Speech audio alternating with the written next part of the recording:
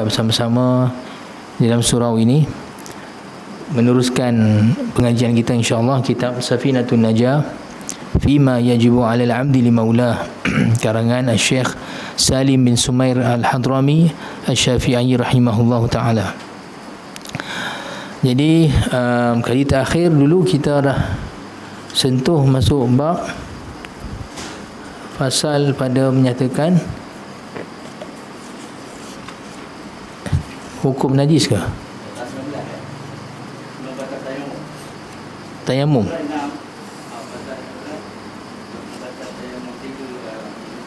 Perkara yang batalkan tayamum eh? Ha. Ya. Dah ya, batal tayamum tu sudah ya.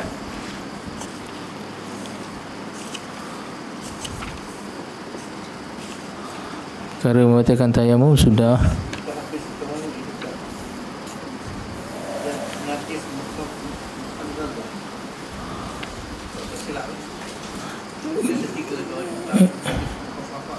Oh, dah masuk kan bab najis kan? Ya, najis mukhafafah, najis mukhalladha.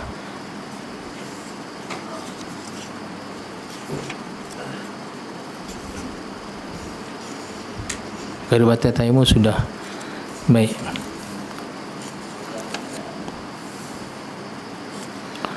Lepas tu fasal pada menyatakan cara pun dah kan? Cara basuh najis mughalladhah pun dah kan? Dan juga semualah. Najis muntah muntah wasitah kan? Ha, kita ada bincang tentang najis wasitah baik. Ma, baik jadi rasanya ada ada ada lagi sikit berbaki masalah najis mutawasitah ni kita tak selesaikan. Baik. Ha, jadi kita sambung daripada sana insya-Allah. Jadi kali terakhir dulu kita dah bincangkan tentang pembahagian najis kepada tiga. Iaitu najis mughalladhah, kemudian mukhaffafah dan mutawasitah. Dan najis mughalladhah ni adalah najis anjing dan babi.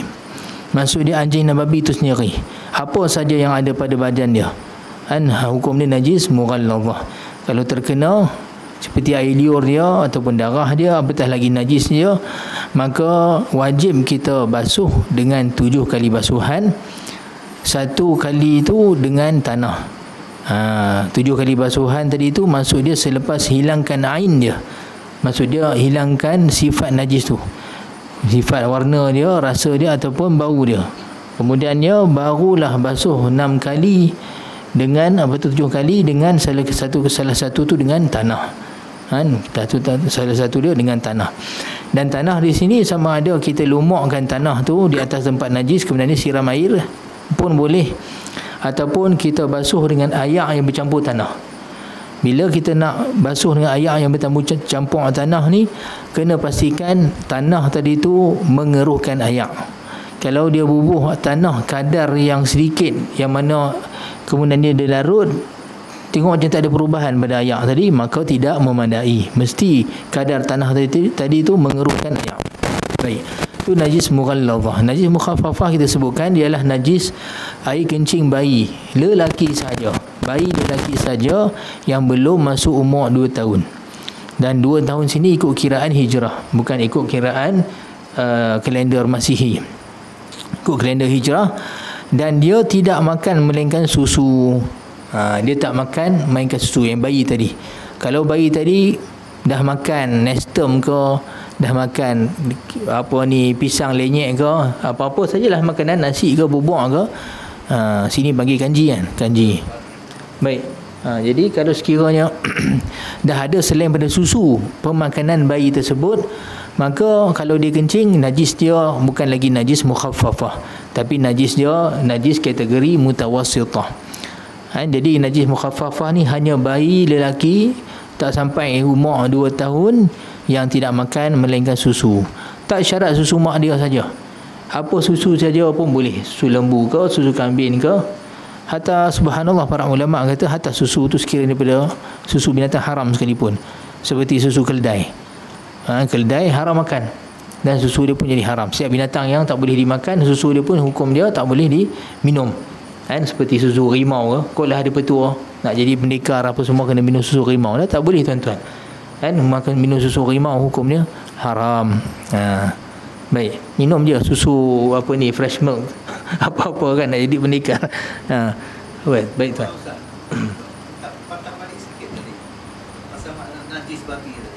Baik ha, najis babi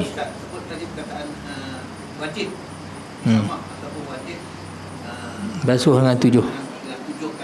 ya. Ya.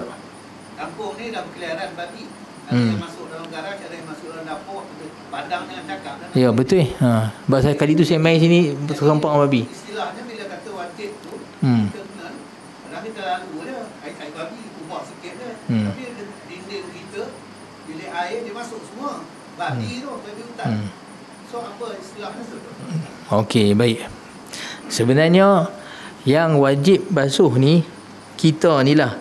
Uh, kita ni yang terlibat dengan hukum ahkam syariat seperti nak solat. Kan kita nak semayang, pakaian kita, perkara yang bertibat kita ni nak kena bagi pastikan bersih. Tapi contohnya kereta kita kena najis babi. Nak kena sama tak? Tak perlu sama tuan-tuan. Kita tak bawa kereta untuk beri, kita tak bawa kereta tu semayang. Maksud dia kereta tu bawa kita semayang. Kereta tu tak semayang kan? Ha, kita dan tak terlibat dengan dia. Tapi dia kotak lah hukum dia kotak. Satu lagi uh, kena faham bahawa najis babi ni kalau sekiranya dia basah dan dia bersentuhan dengan tempat yang basah uh, atau dia bersentuhan kepada dia tu basah ataupun uh, ataupun kita basah kita bersentuhan dengan dia barulah najis tadi tu berpindah ataupun memberi kesan pada dia tapi hatta babi kering sekalipun kita pegang dia dengan tangan kita yang kering ataupun kena pada kain kita baju kita yang kering. Maka baju tu tadi sebenarnya tak tak dihukum sebagai apa? Terkena kesan najis. Babi tu najis. Tapi apa saja najis kalau dia kering kering sungguh-sungguh dan kena pada kita ni kering maka persentuhan tadi tidak memindahkan najis dia tu najis. Maksud dia ketika dia lekat pada kita tu kita bernajis sebab melekat dengan dia. Tapi bila berpisah adakah tempat bekas yang kita melekat dengan dia tadi tu perlu dibasuh? Kalau kering dia kering kita pun kering. Tak perlu basuh. Okey itu pertama no supaya kita faham. Keduanya macam tempat-tempat yang kita dimasuki babi apa semua memang wajib basuh sekiranya tempat tersebut kita nak buat ibadah yang perlu bersih. Kalau masuk tu kat garaj kereta contoh ni kan. Dan kita memang tak solat kat garaj kereta Cuma kita letak kereta saja. Eh, dia kotak lah. Ha, dia hukum dia, dia kotak lah kat situ. Tapi dia tak ada apa-apa implikasi hukum untuk dibersihkan padanya. Okay. pun babi yang masuk kebun kita tanah, dia cara dia kemudian dia dengan ayak uh, hujan ke apa semua, sebab kat situ pun memang ada tanah, dia bersih sendiri. Sebab bersuci ni salah satunya ibadah yang tak perlu pada niat. Kalau dia berlaku proses itu, sendiri dan hilang air najis tadi tu maka, walaupun bukan dengan perbuatan kita maka hilang najis. Maksud saya macam mana? Katalah kaki kita terpijak najis. Kalau ikutkan wajib kan kita basuhkan kaki kita. Tak tak ni bukan cerita najis babi. Ni cerita najis najis biasa. Sina Habang kata bahawa membersihkan najis ni dia sesuatu dia ibadah. Tapi satu-satu ibadah tak perlu pada niat. Malah bila kata tak perlu pada niat maka dia tak perlu pada maksud kita tu untuk menyucikan najis. Dia hilang najis itu saja dah kira sah Contohnya kaki kita terpijak tai kucing. Kita nak kena basuh ni tapi duk kata nantilah kata depan sikit cari paip apa semua kita pun jalan jalan-jalan tiba-tiba kita tergelincir. Terjatuh masuk dalam sungai. Lepas tu kita keluar dari sungai tu kita jangan burung-burung kita tengok tai, tai kucing tadi hilang bersih. Tapi kita kata tapi aku tak niat nak basuh pun. Kira sah tak sah hilang apa apa ni najis dia tadi tu dibersihkan. Sah hukum dia. Sebab membasuh najis tak perlu berniat boleh faham tuan-tuan ha, tak perlu berniat maka sekiranya berlaku pembersihan tadi itu tanpa sengaja sekalipun maka hukum bersih. Macam tu juga kalau kita baju kita kena najis. Kita sidai baju kat luar, luar, luar apa rumah. Tak basuh lagi kita sidai saja. Kata nantilah bila-bila aku dan, dan ni tak dan. Kita pun apa ni sidai baju dekat belakang rumah. Tiba hujan lebat. Hujan lebat selebat-lebatnya kita tengok baju kita kuyup basah Lepas tu besok dikering. Kita ambil-ambil kata hil, bersih. Tak ada kesan najis tadi tak ada. Warna tak ada, kul apa ni, bau tak ada, rasa pun tak ada. Apakah dah kira bersih? Kira bersih. Walaupun bukan kita basuh. Dia kena ayak hujan saja. Ha, tu nak kata menghilangkan najis. Dia semata-mata dengan pertamanya mesti dengan ayak. lepas tu uh, hilang sifat tiga dia tadi warna rasa dengan bau dia maka dikira bersih begitulah juga masalah kekesan babi pijak babi apa semua ni terutama dekat tanah. Lepas tu curah saja ayak tujuh kali dengan tanah yang ada kat situ pun dah kira dah kira bersih. Insyaallah no ha, baik. Saya dulu hmm. termakan daging babi. Allah. Macam mana nak sama rambut dulu pergi ha. kucing dalam bulan puasa lepas tu bawa ada orang taksi makan situ orang pun orang batak makan orang mana jauh hmm. makan makan sate babi sampai-sampai nak tidur orang muntah balik aku ni kenapa makan apa tadi ceritakan saya makan tadi di bawah panggung wayang tu gini, gini. itu batak tu, tu lagi babi baru tahu tu batak hmm. sama macam mana Oh, jenuh juga saya nak jawab tu. Pertamanya, okey, pertamanya memang yakin ke daging tu babi ke orang orang tu semata-mata cakap? Yakin, betul yakin. Orang tu dia kata bukan Islam. Orang Batak. Yang jual sate, yang jual sate tadi. Yang besar sate babi. Oh, tak, sate, sate babi. Orang cerita, itu sate babi kata, bukan sate babi. Hmm. Orang macam itu. Tapi dah masuk dalam tu. Dah masuk dalam tapi muntah lagi. Belum dia cakap lagi dia muntah. Ya. Bila dah kena muntah tu baru tahu makan apa. Cerita kalau makan di setiap setiap tempat tulis makan sate oh, itu pun batak katanya bukan orang orang kau orang Islam tapi orang tu mungkin baru tahu lagi ya. tahu ini pertamanya tak tahu nak kata lah sebab semata-mata khabar seorang tanpa yakin benda tu tak uh, dia uh, betul ya. Dia dia masalah yakin ni bila mana uh, orang yang menyaksikan tadi tu dia percayai siqah. Memang betul kita percaya walaupun dia apa ni uh, dia tak adalah kata dia siqah dah dipercayai kan dia dia khabar daripada apa benda yang dia nampak sendiri daging tu babi bukan sekat main cakap-cakap saja kan. Uh, tentulah kalau sekat kata-kata tak yakin tu tak tahu nak ikut jatuh hukum dia. Cuma dia jatuh pada syubhat lah. Syubhat lah kalau dah dikatakan kan? Sebab benda yang haram ni kalau dah dikatakan tu memang kita kena jauhi lah. Ha, itu pertamanya lah. Keduanya, ya masalah. Nak samak mulut. so, ya. Ha? Dah. Ha.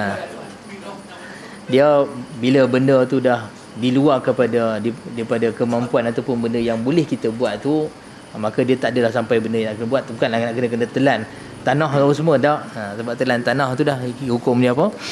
Dah hukum dia mudarat. Kan dah jadi mudarat pula. Ha, cuma bersihkan mulut sajalah. Kan wallahu alam. Tapi kalau saya tak berani nak cakap sekarang sebab takut ada memang ulama bahas masalah ni tapi saya tak pasti kan wallahu alam baik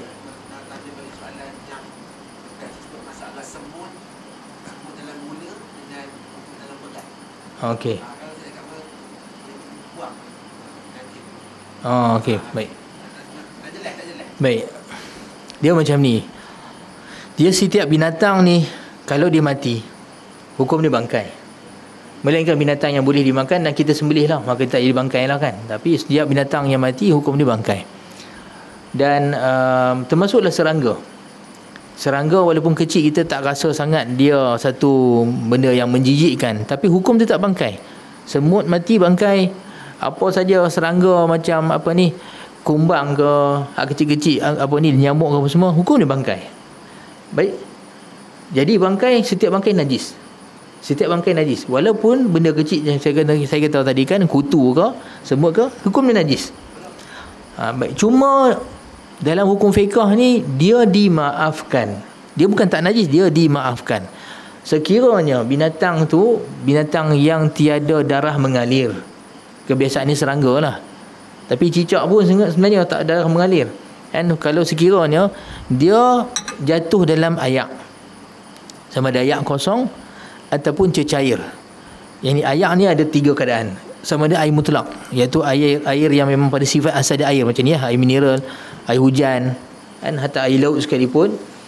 Kalau sekiranya dia tak cukup dua kolah masuk binatang yang tiada darah mengalir tadi seperti kumbang ke semut ke ataupun kutu ke dia mati. Kalau ikutkan najis. Kalau ikutkan ayat tadi tu muntah najis sebab tak cukup dua kolah. Dua kolah ni banyak lah tetapi sebab binatang ni tiada darah mengalir dia dimaafkan. Maksud dia kita boleh lagi minum ayak ni ataupun guna ayak ni untuk bersuci ke untuk apa semua walaupun dah masuk najis pada dia iaitu binatang yang tiada darah mengalir ni. Tapi dengan syarat dia masuk sendiri mati sendiri. Ha, itu syarat pertama. Kalau syarat untuk dia dimaafkan ayat itu tadi boleh digunakan lagi pertamanya binatang yang tiada darah mengalir ni dia masuk sendiri. Masuk dia ada duk pusing pusing pusing jatuh betul mati. Kita buat keluar dia. Ha, ini syarat pertama. Ada pun kita kita yang bunuh dia kita pergi masukkan dalam dia. Walaupun tanpa sengaja. Macam kita ada smash apa ni lalat apa ha, piak. Sekarang ni ada jenis elektrik tu kan. Bzz, lalat tu mati. Lepas tu jatuh dah ayak kita.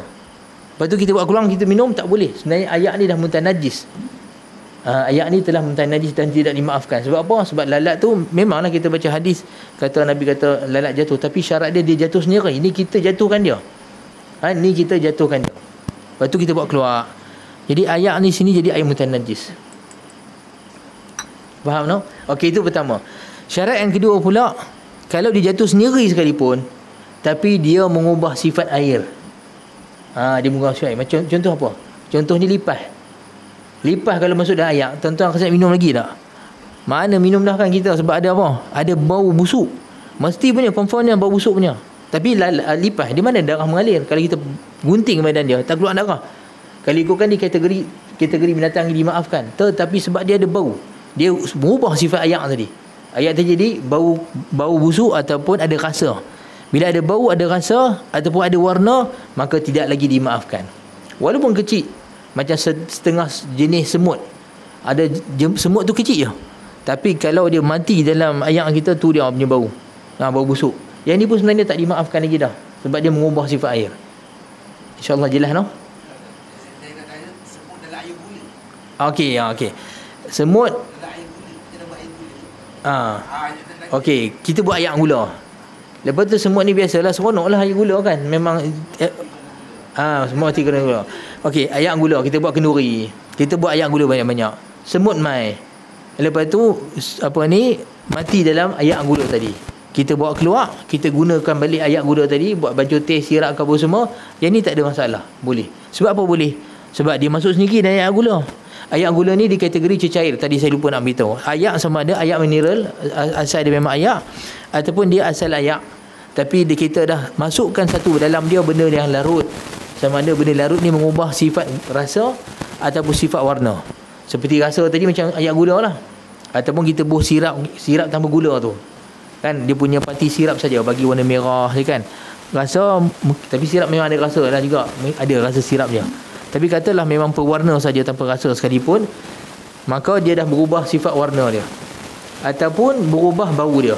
Seperti kita bubuh jenis macam apa ni? Uh, ayak ayak mawar minyak wangi tu kan?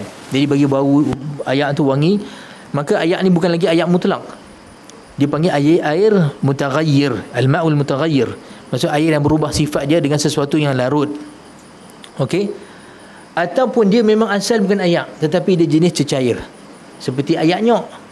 Ayo nyok kan? Ha, kita sebut ayo kan? Ayak lah kan? Ha, ayak nyok. Kita sebut ayak tapi sebenarnya dia bukan ayak sebab ayak ni kalau ikutkan dalam, ni dalam perbahasan fiqah. Bahasa kita ya kita sebut ayak lah tapi dalam perbahasan fiqah air ni sebenarnya apa? Hak turun daripada langit ataupun terbit daripada bumi.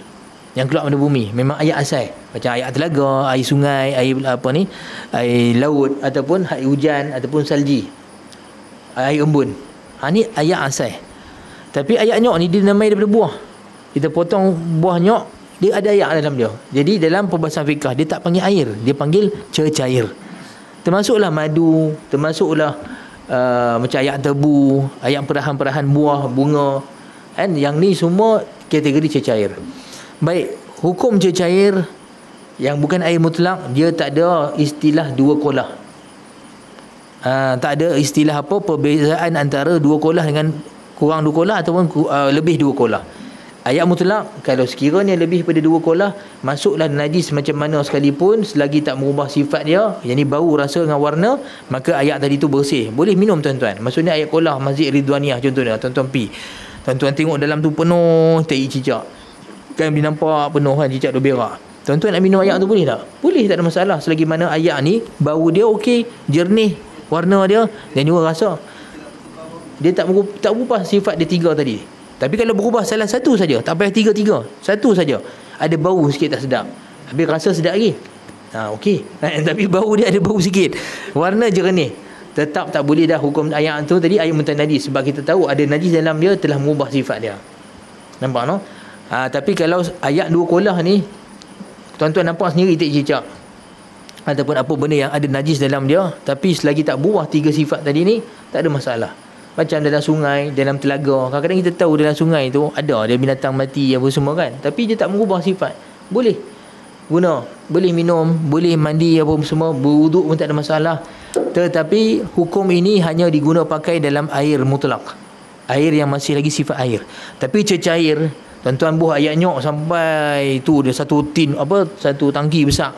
Ayat nyok. Katalah kita nak buat coconut shake terbesar jenis book Afrika. Ha, nah, kampung Gias. First in the in the in the world. Kan yang buat coconut shake terbesar sekali. Buat buat buat dah buah ayak nyok punyalah banyak dalam satu tangki besar. Tiba-tiba ada seekor cicak masuk mati. Nampak no? Ha, tapi cicak ni ha, tak apa lah sebab dia binatang tak ada tak, tak ada ai tak ada darah mengalir dimaafkan tak, tak nak guna cicak mati cicak berak ha, cicak berak Tak hijab dia tak dimaafkan. Angki besar tadi tu. Kita dah buah ayah nyok. Punyalah cari berapa, berapa ratus buah nyok kita dah cari susah payah kan. Dah kumpul dalam tu. Hijab berak habis. Satu tangki tadi habis. Kalau ada orang main kata tak apa eh. Dia kata lebih dua kolah. Ni bukan ayak kita kata. Ini bukan ayak mutlak. Ha, dua kolah tadi tu ayak mutlak. Ini apa? Tercair. Habis. Tuan-tuan. Rosak tadi semua. Nampak no perbezaan dia? Benda ni berlaku tuan-tuan pada zaman dulu kisah benar yang ini kisah berlaku dekat salah seorang tabi'in. Tabi'in ni iaitu anak murid sahabat. Ha, dia pun tak jumpa Rasulullah tapi dan jumpa sahabat. Seorang tabi'in namanya Muhammad bin Sirin radhiyallahu taala anhu.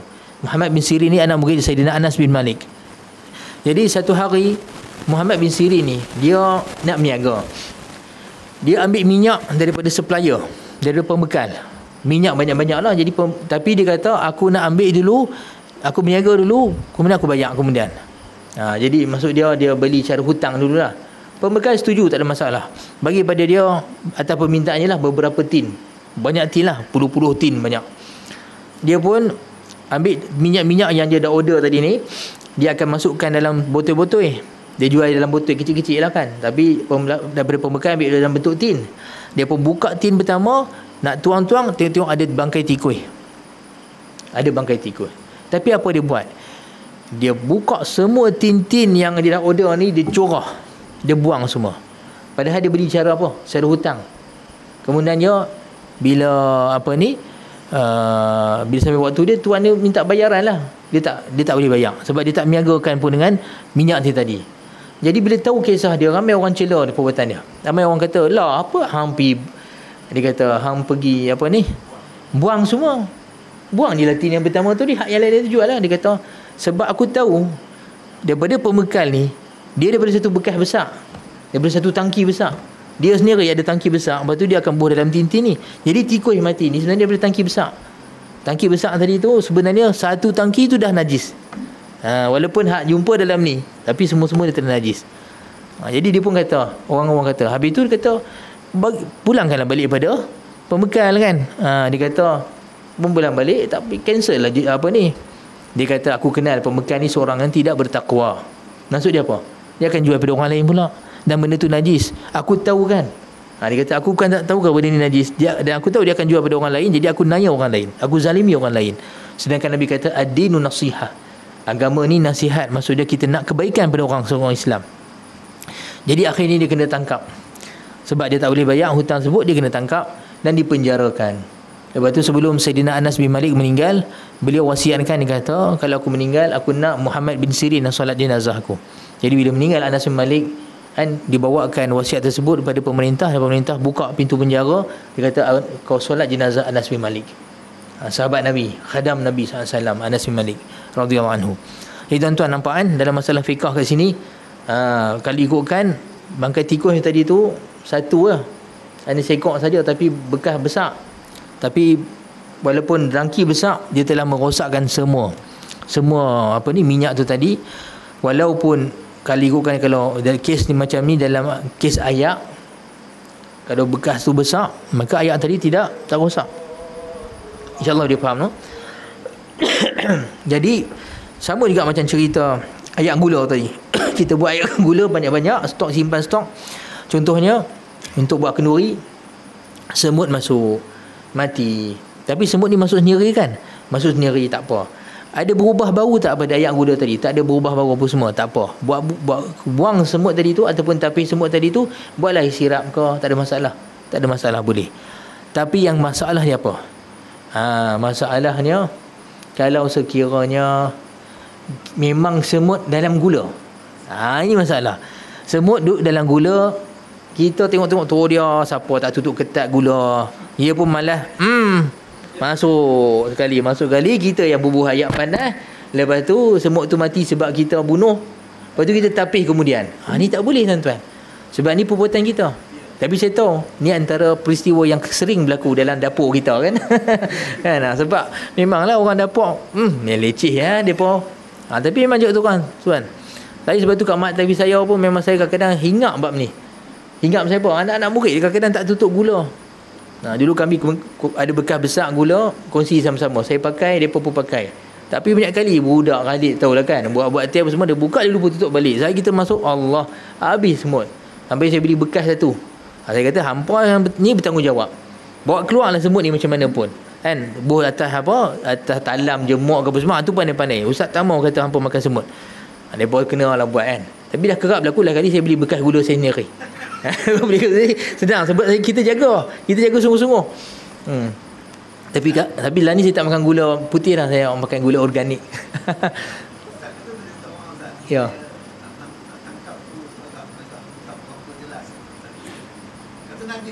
Salam alaikum. Ya. Najis daripada air pecah, najis daripada bakai, najis yang diwajibkan sama. Hmm. Jadi bacai babi ni tadi kita kata bila katalah contoh dia di Padang Nafi kan lah hmm. di kota lama ni memang penuh dengan tai babi ya. Hmm. Kata ustaz tadi bila datangnya air hujan ha, air tanah tu hmm. secara secara ni dia hilang. Hilang. Hmm. Besok dia apa ni? Hmm. Dah kita tu sendiri yang lalu hmm. nak pergi ke surau contoh hmm. Hmm. Tempatnya memang kubang dan. Hmm dalam petang tadi hujan malam ni kita nak surau. Hmm. kita ke tiba tu. Hmm. yang kita ni sama ni dari sudut mana? Adakah dari sudut air hujan yang yang basuhi tempat najis tu? Tadi hmm. atau kita sendiri juga terlibat sama dibasuh sedangkan kita tidak kena pun air tu. Baik. Tu. baik. Kita ni wajib basuh. Okay, kita wajib basuh. Kalau kita nampak memang najis tu ada. Maksudnya contohnya Kalau kita memang Kita terpijak uh, tai babi memang ada atas tanah. Kita kita pun memang tahu lah ni tai babi kan. Maka wajiblah kita basuh tem- apa ni uh, anggota badan kita yang memang kita kena solat dengan dia tu. Maksud dia kalau kaki kena pada kaki wajib sama kaki. Ataupun kalau seluar kita ataupun kain kita tadi kena. Slipper tak wajib sebab kita tak semayang dengan slipper kan? Cuma kita basuh bagi hilang sajalah supaya dia tak berpindah pada anggota badan kita. Okey Kemudiannya kalau katalah satu padang ataupun jalan ni kita memang tahu je babi duk lalu apa semua. Dia hukum jadi najis ni apa yang kita nampak jelas pada mata kita. Tapi kalau kita memang hari ni jalan kita tak nampak pun kesan najis ke apa pun semua. Tapi kita kata tapi babi duk lalu lalang sini. Tapi tak benda tak nampak kan? Benda tak ada. Boleh faham maksud saya tuan? Benda tak nampak lah ni. Setakat kita tahu saja babi duk lalang tapi lah ni kita tak nampak kan? Ha, hukum benda tu asal bersih. Jadi kita tak boleh tak payah nak buat macam anggaran kata Aku itu aku nampak tak, tak babi ada kat sini? Aku tak tahu. Dah kali tujuh kali hujan ke tak? Contoh ni kan. Apa ni tak perlu. Sebab asal hukum bersih. Boleh faham tuan-tuan? Kita lalu bawah surau waktu hujan ni. Ayat turun daripada bumbung. Atas bumbung ni ada apa? Silsilat ada macam-macam. Kan ada tai apa burung apa ah, macam-macam tai cicak tai tikus semua ada lah. Jadi turun dengan ayat hujan nampak kita pun lalu kat bawah kena baju-baju kita. Nak naik atas surau. Nah sekarang ni kita terfikir. Yang turun ni ayat najis ke tak najis? Tuan-tuan tak payah tanya. Sebab yang turun ni apa? Ayat ayat turun. Ayat hukum asal apa? Bersih. Hak lalu atas kita nampak tak nampak? Ha, hukum asal bersih. Ha, tak payah tuan-tuan kalau tuan naik tangga memang nampak. Tu dia ada bangkai tikus elok situ kan tempat tadi. Ha, masa tu baru hukum najis. Ha, siapa suruh tengok? Lagi tak nampak? Hukum asal bersih. Asal hukum bersih. Benda selagi kita tak tahu hukum asal bersih. Sebab ayat asal hukum apa? Bersih. Nampak? Ha, macam tu. Sebab itulah kucing. Lah ni kalau kucing mai dia minum dekat beldi kita. Kita kata semalam aku nampak kucing ni makan bangkai, makan tikus, makan tikus.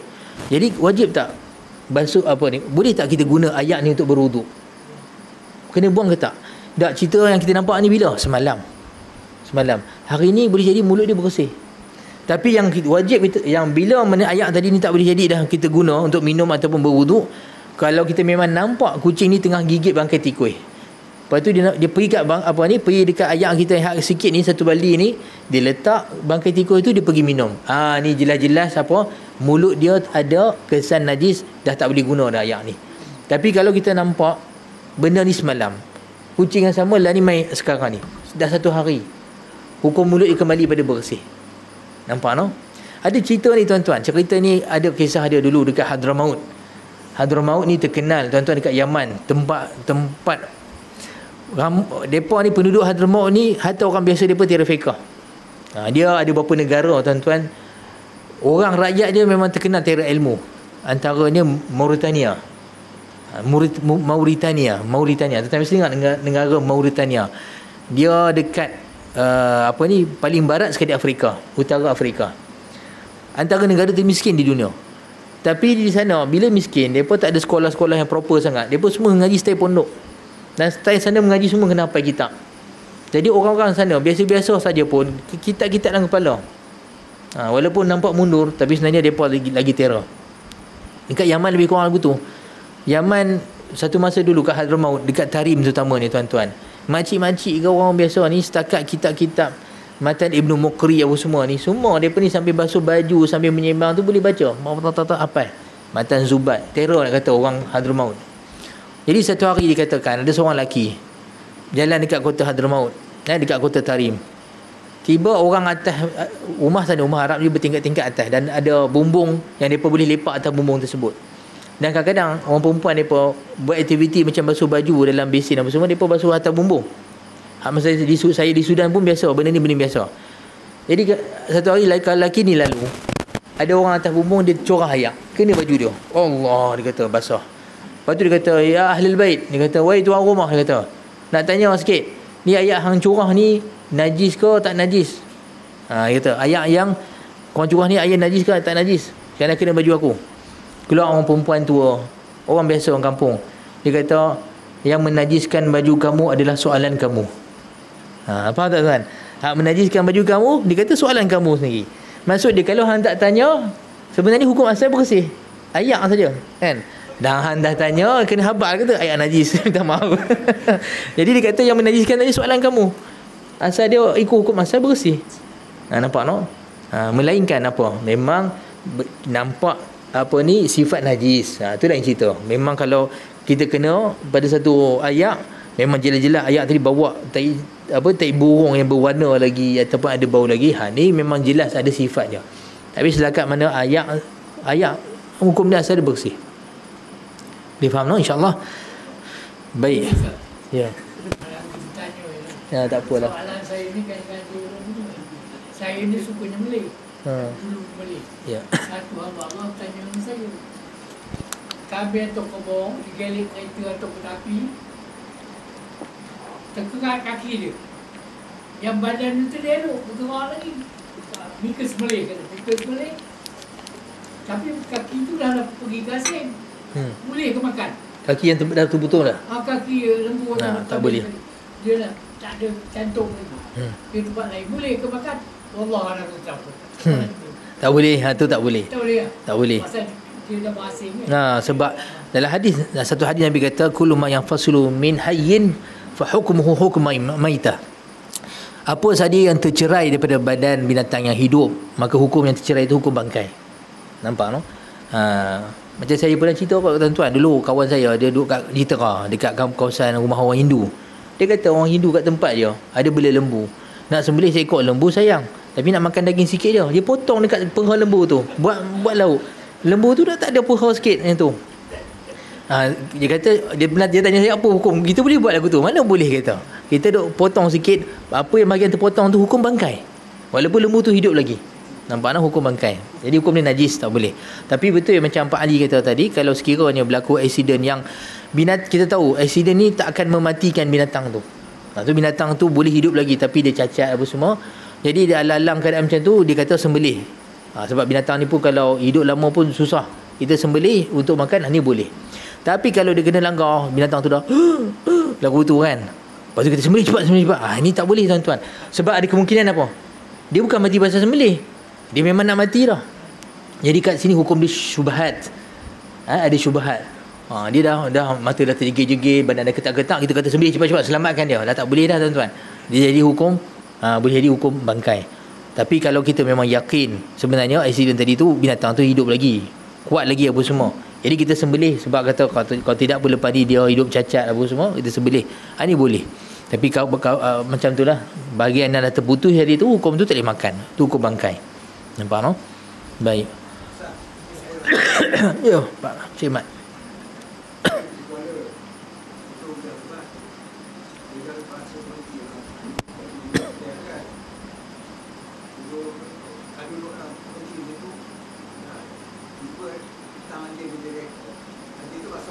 Ya.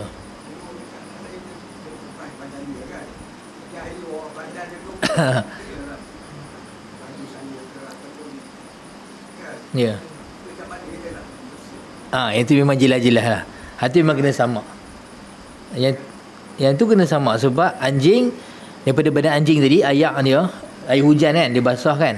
Lepas tu dia dia buat kerja-kerja badan dia berkecil daripada badan kena kena pada kita. Ha, jadi sebab dekat sini najis tadi tu najis anjing tadi tu dah berpindah kena pada pakaian kita. Ha, tu kena basuh tuan-tuan. Ha, kena basuh cemat. Kena sama. Ha. Ha, tapi lama tak apalah. Baju pun dah tak ada. Ha. Ha. Allah. Ya. Hmm. Dia pun sama jugalah. Kes macam tu. Yalah. Sebab itulah sebenarnya keikutan syariat Islam ni tuan-tuan babi ni dibunuh secara mutlak. Secara mutlak maksud dia dia tak ada apa-apa alasan untuk safekan babi ni. Tak ada. Anjing tu ada lagi. Anjing ni dibenarkan dengan nas al-Quran untuk apa digunakan untuk memburu dengan nas al-Quran. Wal mukallibina tu'allimunahunna mimma 'allamakumullah. Dan dibenarkan anjing-anjing yang berburu kamu latih mereka ni yang asal Allah yang latih Allah yang mengajar kamu ilmu tersebut ini dibenarkan kita untuk guna anjing memburu begitu juga anjing yang mengembali kambing sebab kita boleh train anjing dia jaga kambing semua ni dibenarkan dan uh, Sayyidina Abu Hurairah dalam meriwayatkan hadis tersebut dia tambah begitu juga dibenarkan anjing jaga kebun. Kan anjing untuk menjaga kebun. Selain daripada tu Nabi kata siapa yang beli anjing daripada selain tiga ni duduk kat rumah buat saja-saja maka uh, pahala dia setiap hari kurang seperti uh, kurang dengan satu kirat. Satu kirat ni sebesar gunung Uhud dan satu hadis satu riwayat hadis. Dalam riwayat dua kirat. Dua kali gunung Uhud tak tahu kita ada pahala tak setiap hari boleh buat satu gunung Uhud tapi habis lagu tu saja kalau belanjing dalam hadis sahih hadis sahih muslim ha, dua gunung Uhud tuan-tuan kalau pergi umrah biasa mutawif bawa tempat gunung apa tempat yang pemanah tu kan Ramai orang ingat tu Gunung Uhud. Dia kata ah kecil dah. Dah tu bukan Gunung Uhud. Gunung Uhud kan kalau tuan-tuan tengok hak depan tu, hak besar sungguh tu. Hak tu Gunung Uhud. Yang biasa mutawif bawa kita duduk atas bukit tu, tu dia panggil Jabalur Rumat. Tempat pemanah yang Nabi tugaskan untuk duduk atas tu. Ha, Gunung Uhud besar. Jadi kita tuan-tuan tengoklah. Ha, tengok bayangkan pada kita aku ada besar ni atas hari. Nak perhabis saja. Beli anjing kan. Ha, jadi anjing ni memang betul pertama adalah hadis sahih Muslim. Eh, Nabi kata habis pahala dia saja. Dalam riwayat yang kedua Nabi kata siapa yang rumah dan anjing dalam dia malaikat tak masuk. Jadi malaikat rahmat. Ha, jangan pula dipikat kata kalau dia tu elok belanjing malaikat maut tak masuk. Malaikat maut hang duduk mana pun dia masuk. Kan? Ha, malaikat maut ha, dia tak tinggal kat mana-mana pun. Ha. Ha, buruh mana? Allah Taala kata, "Walau kuntum fi burujin musyayyadah." Yudrikumul maut walau kuntum fi burujin musyayyadah. Kamu akan tetap didatangi oleh malik, kematian walaupun kamu duduk dekat satu tembok kota yang kukuh sangat. Nak lari pada mati macam mana pun akan mati juga. Nampak no? Ha, cuma yang masuk dia malaikat tak masuk rumah yang ada anjing. Innal malaikata la tadkhulu baitan fihi kalb. Allah kata uh, Nabi SAW sebut dan hadis sahih juga malaikat tak masuk rumah yang ada dalam dia anjing. Maksudnya malaikat rahmat. Malaikat nak bawa rahmat beri kita. Kan? Dan riwayat lain yang ada patung. Rumah yang ada patung dalam dia.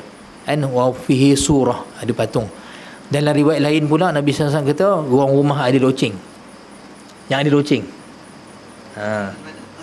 Loceng yang sebab loceng ni dia upacara apa ni? Ha, semayang ha, apa ni? Tangan mana sama ada tinggi-tinggi tu ke hak besar yang macam Kristian ni tang tang tu apa semua ha, semua loceng sebab dia apa ni itulah kata amalan agama-agama lain. Bila hadis sahih juga Nabi SAW masa mula-mula bina masjid, Nabi bincang dengan sahabat macam mana nak panggil orang datang masjid. Ada sahabat yang cadang buat loceng juga. Bagi kita bunyi teng teng. Nabi kata itu adalah amalan orang-orang Nasrani. Ada yang kata buat trompet. Tengok trompet. Dia kata tu amalan orang Yahudi. Orang Yahudi. Ada yang kata kita buat satu api besar dekat atas gunung. Kan? Bila waktu solat dia nyala api besar. Nabi kata tu amalan orang Majusi dan tak ada guna juga kalau orang duduk rumah bukan nampak api pun kan? Nah, bukan nampak api tu. Jadi ada seorang sahabat dia kata kita panggil je lah. As-salah as-salah kan? Hayya as-salah. Jadi Nabi setuju atas idea tersebut. Jadi pada peringkat awal tu macam tu lah. Panggil solat solat sembayang sembayang nah, macam tu lah. Dari bahasa Arab lah kan? Sampailah satu hari satu sahabat namanya Abdullah bin Zaid. Dia mimpi dia mimpi seorang lelaki datang pada dia dia kata nak tak aku ajar kamu kalimat-kalimat perkataan-perkataan yang kamu boleh guna untuk seru orang tentang solat. Dia berkata, dia pun ajar Allahu akbar Allahu akbar Allahu akbar Allahu akbar kan macam azan sekarang lah.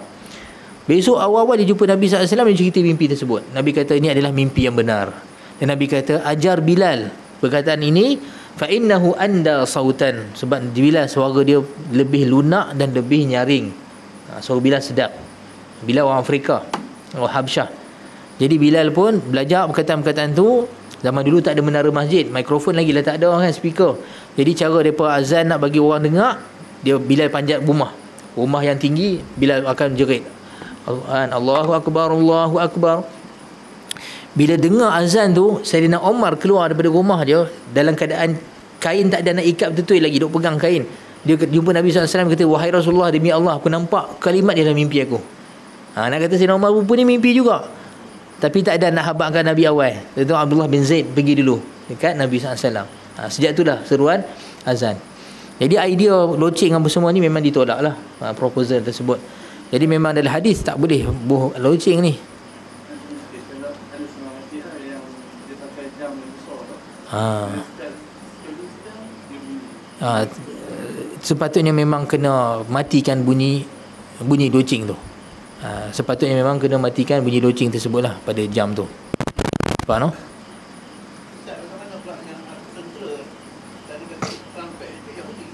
Hmm. Hmm. Yalah. Ha, itu sebenarnya daripada budaya barat. Kan ha, dia funeral kan. Ha, masalah.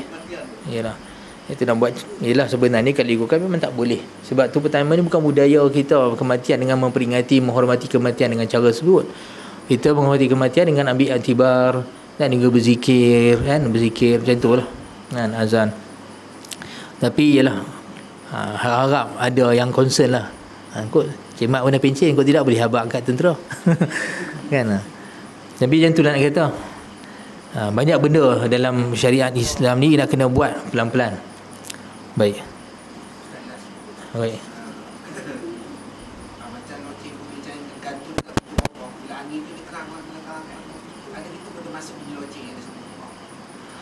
Yang tu buat daripada buluh tu kan?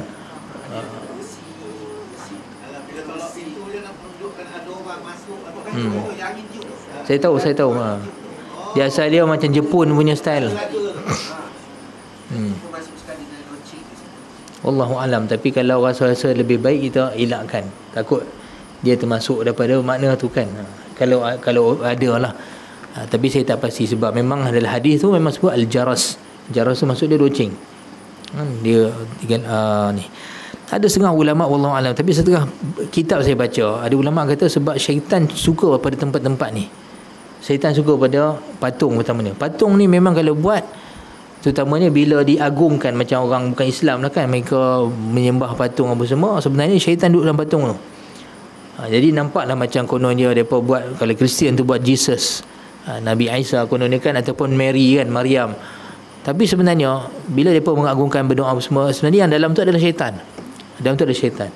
Masuklah juga Hindu kata ni Tuhan Dewa kepala gajah atau apa benda semua tapi sebenarnya yang ada tu syaitan. Syaitan dia apa ni diberi wahai apa ni diberi ilham ataupun idea daripada syaitan untuk buat-buat patung mengagungkan dewa-dewa ni tapi sebenarnya syaitan yang menumpang dalam tu dan mereka sembah syaitan. Sebab memang asal dia iblis kan tak mau sembah, Nabi Adam ataupun sujud pada Nabi Adam AS. Jadi dia dia memang berjanjilah ha, nak sesatkan manusia suruh manusia pula sujud pada dia, sembah pada dia. Sebab tu dalam hadis masa peristiwa pembukaan kota Mekah, Fatul Mekah. Nabi SAW masuk kota Mekah pada hari itu di atas bakal Nabi SAW. Nabi pegang tongkat dan dekat Masjidil Haram tu dekat lapangan tawaf tu penuh dengan berhala. Dan Nabi SAW tunjuk dekat berhala ni dengan tongkat Nabi SAW sambil baca Al-Quran. Kan laqad ja'al haqq wa zahaqal batil innal batila kana zahuqa. Telah datang kebenaran dan telah kan, uh, binasa kebatilan sesungguhnya kebatilan itu sesuatu benda yang sangat akan hilang dan binasa. Nabi tunjuk dekat tongkat dengan tongkat Nabi SAW satu-satu apa ni berhala tu jatuh ter, ter, tersembam. Kan sedangkan berhala tu piling dalam. Kukuh tu bukan dia main letak begitu saja macam letak je ni ha, tonyoh tu tak. Tapi Nabi SAW tunjuk dengan uh, yalah mukjizat Nabi SAW jatuh berhala tu satu-satu. Bom bom bom jatuh Nabi bersihkan Masjidil Haram ketika tu daripada berhala. Hatta dalam Kaabah ada berhala. Masa buka Kaabah masa tu Nabi SAW sedih sangat depa buat berhala patung patung Nabi Ibrahim AS. Dan pegang Nabi Ibrahim pegang azlam. Azlam ni anak panah yang depa bubuh dalam kinanah, bekas anak panah tu main kinanah untuk depa main kocang apa ni koncang-koncang untuk tilik nasib. Ha, macam contohnya nak buat kenduri bulan minggu depan. Elok tak elok? Ha, dia pun panggil pergilah dekat Azlam ni tukang pegang tu so, dia kocak kocak kocak kocak Pop keluar. Kalau keluar yang warna ni sekian dia kata ah Tak elok dia kata Hang tangguh dulu bulan depan. Ah Contoh dia ah, Ni Azlam. Ah, Benda yang Allah Ta'ala kata Rijusun min amali syaitan. Benda yang kotor daripada amalan syaitan. Jadi Nabi SAW sangat sedih Bila tengok dia buat. Patung Nabi Ibrahim pegang benda tu. Dia kata demi Allah Dia kata. Nabi Ibrahim tak buat benda ni. Kemudiannya ada patung di luar Mekah. Patung besar. Kan Uzzah Nabi SAW suruh Khalid bin Awalid pergi pecahkan Uzza ni. Khalid bin Awalid pergi.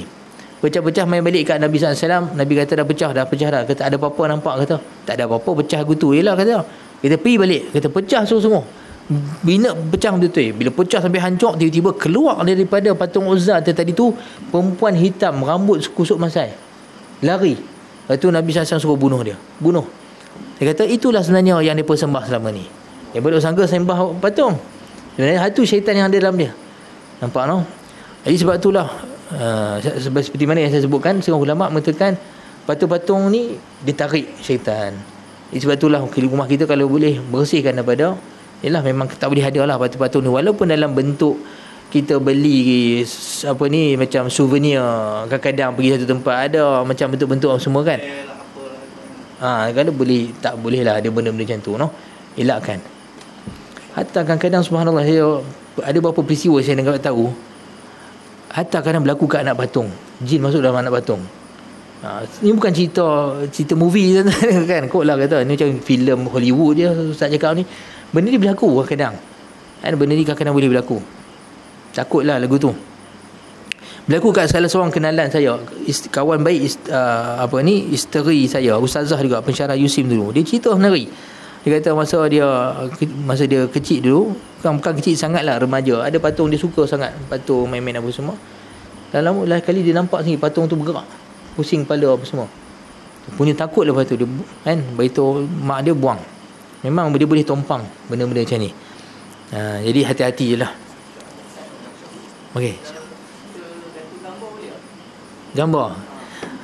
Gambar ni pertamanya perbahasan dia agak luas dan ada khilaf di kalangan ulama. Gambar. Ada khilaf ulama tentang gambar hidup. Kan gambar hidup, lu gambar lukisan. Jadi ada pendapat sebab dalam bahasa Arab masalahnya yang Nabi SAW kata tadi innal malaikata la tadkhulu baitan fihi surah. Perkataan surah ni dia ada dia boleh dimaknakan dengan patung dan dia boleh dimaknakan juga dengan gambar. Sebab tu setengah ulama mengatakan bahawa hatta gambar. Tapi saya memang saja tak nak sebut tadi sebab kalau dah sebut tanya ni jadi panjang cerita dia. Kan sebab tu ada ulama yang agak straight kata hatta gambar. Sebab makna surah tadi dua-dua. Adapun patung yang ni memang tak ada khilaf dengan ulama. Hukum ni haram.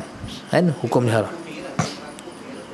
Ha, tapi dia kata gambar ni ada ada pendapat yang mengatakan sekiranya gambar tersebut pertamanya uh, gambar lukisan yang tidak sempurna. Maksud dia badan dia separuh apa semua yang ni dibenarkan. Sebab dalam satu hadis Nabi SAW sebut akan didatangkan pada hari kiamat orang yang buat gambar ni tadi. Tapi itulah sebab masalah gambar dan bahasa Arab ni dipanggil surah. Dan surah ni dia boleh patung dan juga boleh gambar.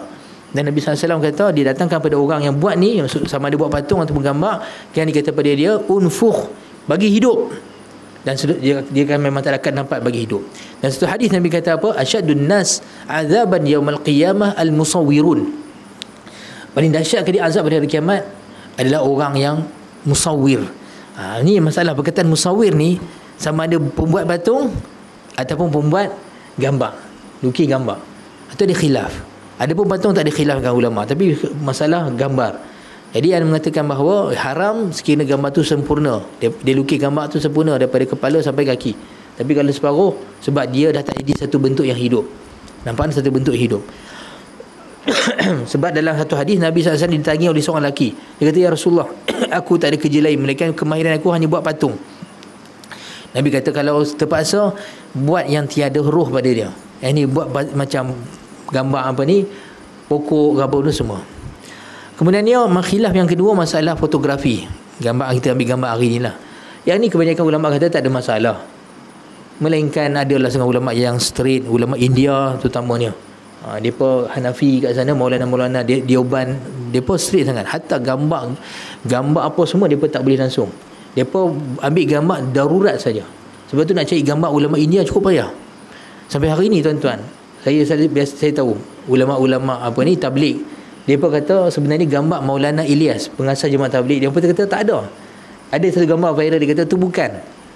Gambar Maulana Ilyas Kahandalawi, pengasas jemaah tabligh. Dia wali Allah tuan-tuan, alim ulama hadis besar. Maulana Zakaria apa? Maulana Zakaria seorang lagi. Tapi Maulana Zakaria ni sebab akhir hidupnya dia duduk kat Madinah. Jadi orang Arab duk ambil gambar candid dekat dia. Jadi gambar ni ada. Tapi kalau ikut ulama India ni sebab dia pegang fatwa tak boleh langsung gambar.